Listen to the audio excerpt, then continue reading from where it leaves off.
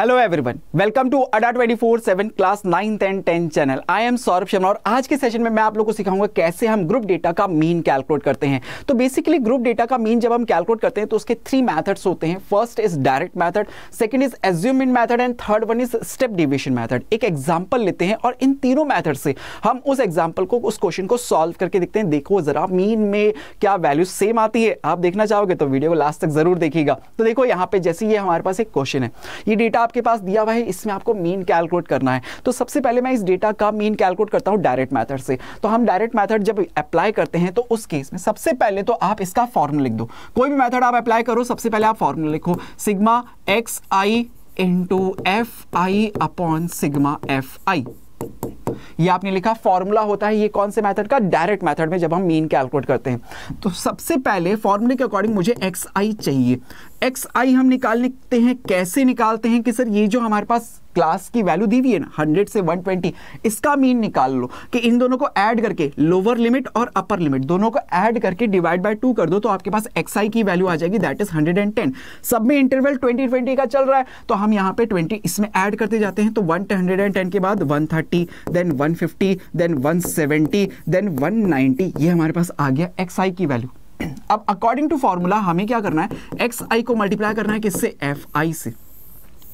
तो देखिए sir f आई की ये रही वैल्यूज़ इस एक्स आई की वैल्यूज़ ये रही, इनको मल्टीप्लाई कर देते हैं। तो 12 को 11 से मल्टीप्लाई करते हैं तो आता है 132 और ये ज़ीरो 14 को 13 से मल्टीप्लाई करते हैं तो आएगा 182 और ये ज़ीरो 8 को 15 से मल्टीप्लाई करते हैं सर 120 और ये एक zero 17 six one zero two होता है तो 102 और ये ज़ीरो 19 को 10 से अगर हम मल्टीप्लाई करते हैं 190 और ये ज़ीरो इन सबको अब ऐड करते हैं, क्योंकि फॉर्मूला यही कह रहा है सिग्मा सिग्मा का मतलब सम तो इन सबको ऐड करें तो zero zero zero zero two और टू फोर और टू सिक्स देन यहाँ पे थ्री और एट इलेवन इलेवन और इलेवन ट्वेंटी टू का टू कैरी टू और one three four five six seven seven two six zero और अगर मैं इन सभी फ्रीक्वेंसीज का सम करूँगा तो मेरे पास सम कितना आ जाएगा? फिफ्टी वैल्यूज़ आ गई. फॉर्मूले कर दे, देखिए जरा. तो एक्स बार मीन कैसे लिखेंगे?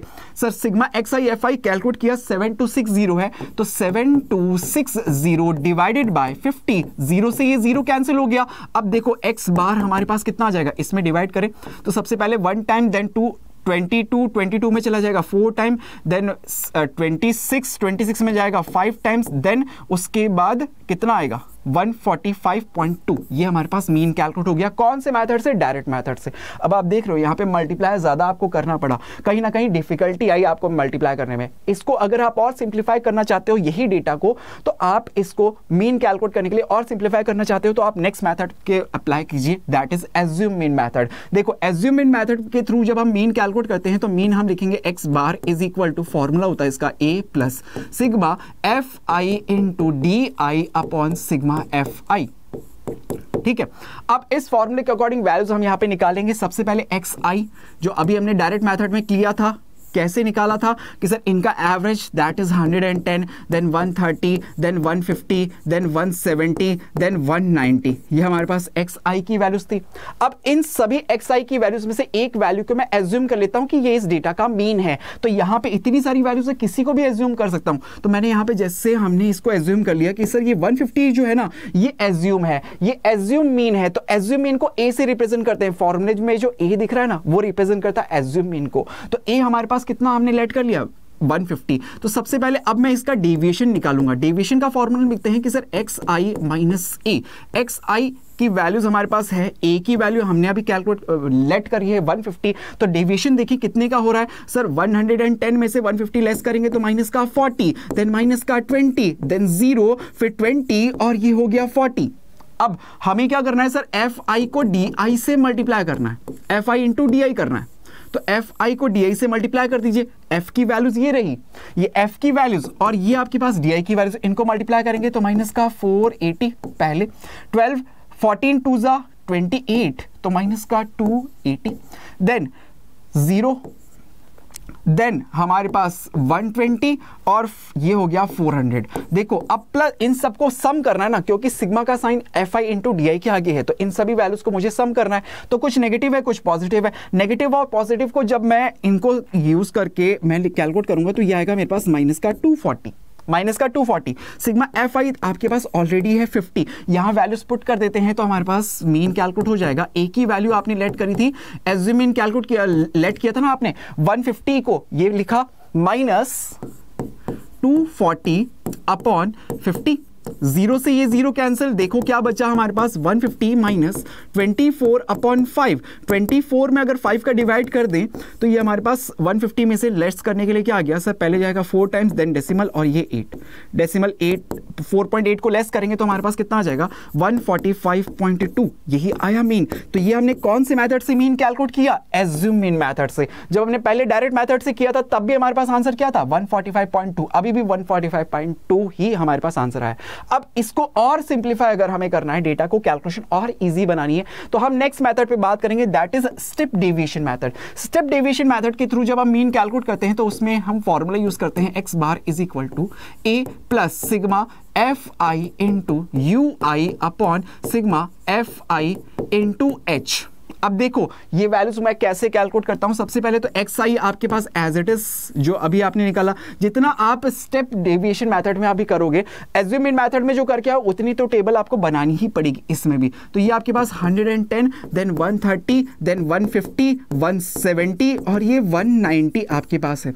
आपने डेविएशन कैलकुलेट किए थे, अभी कितना आया था? डी आई की वैल्यू एक्स आई में से ए को माइनस करते हुए कि आपने सबसे पहले एज्यूम किया था सर 150 को, ये एज्यूम किया था तो हमारे पास डेविएशन आया था माइनस का 40 minus twenty zero plus twenty and plus का 40 अब हम कैलकुलेट करना सीखेंगे यहाँ पे यू आई यू आई क्या होता है? कि सर ये होता है d i upon h h क्या चीज़ है? एच इंटरवल को बताता है कि सर एच यहाँ पे क्या है? इंटरवल देखो जरा डिफरेंस कितने का है? सर इंटरवल कितने का है? ट्वेंटी ट्वेंटी का है। तो ट्वेंटी का हम डिवाइड और कर देंगे डीआई की वैल्यूज़ के अंदर। तो डीआई में अगर ट्वेंटी का डिवाइड करते तो ये हमारे पास किसकी वैल्यूज़ आ जाएगी? यू आई की। ये आएगा कितना? कि सर माइनस का टू फिर माइनस का वन ज़ीरो वन और टू अब फॉर्मूला कहता है एफ़ आई को यू आई से मल्टीप्लाई करो। तो एफ़ की वैल्यू को आप यू आई से मल्टीप्लाई कर दोगे। ये रही एफ़ की वैल्यू और सिंपल हो गया ना मल्टीप्लीकेशन तो देखो sir f i into u i अगर हम यहाँ इस टेबल के अंदर आगे करें तो ट्वेल्व टू ज़ा minus twenty four fourteen one जा माइनस का ये फोर्टीन देन एट ज़ीरो को ज़ीरो से ज़ीरो सिक्स वन जा सिक्स और टेन इंटू टू ट्वेंटी तो प्लस में हमारे पास ट्वेंटी सिक्स है माइनस में हमारे पास थर्टी एट है. तो थर्टी एट में से ट्वेंटी सिक्स माइनस करेंगे तो ये बचेगा हमारे पास माइनस का ट्वेल्व अब माइनस का 12 आया, ये हमारे पास वैल्यूज़ आ गई सिग्मा एफ़ आई ऑलरेडी आपको पता है सर कितना है? 50 तो वैल्यूज़ पुट करते हैं यहाँ पे तो मीन आएगा. X bar is equal to a आपने कितना लेट किया था? एज्यूमिन कितना? 150 plus sigma f i u i की वैल्यू माइनस का 12 upon sigma f i that is 50 into h h कितना है? 20 ज़ीरो से ये ज़ीरो कैंसिल हो गया तो क्या हमारे पास आया माइनस का ये 150 माइनस 12 को 2 से मल्टीप्लाई करके 24 फोर अपॉन फाइव सेम वही इक्वेशन मिल गई क्या, जो थोड़ी देर पहले अभी हमने एज्यूमिन में देखी थी कि सर ये 150 fifty minus twenty four upon five वही सेम तो यहाँ पे भी कैलकुलेट करेंगे तो कितना आ जाएगा? सर 145.2 145.2 ये हमने मीन कैलकुलेट करके देख लिया। तो अगर हमारे पास डेटा किसी भी फॉर्म में है, हम देख सकते हैं कि हमारे पास सबसे सिंपलेस्ट वे डेटा को कैलकुलेट करने का कौन सा होता है? स्टेप डिविजन मेथड के अंदर होता है। तीनों के फॉर्मूले हमने सीख लिए। तो अगर बच्चों डेटा आपके पास सिंप्लीफाइड फॉर्म में है तो आप डायरेक्ट मेथड अप्लाई कर दो। थोड़ा सा कॉम्प्लिकेटेड हो रहा है तो आप एज्यूम इन कर दो। और अगर ज़्यादा कॉम्प्लिकेटेड है तो स्टेप डिविजन मैथड लगा दीजिए। तीनों के थ्रू हमने सेम डेटा का मीन कैलकुलेट किया और तीनों केसेस में आंसर आपको सेम देखने को मिला। Thank you so much guys. Thank you so much. Thank you for joining with us. Bye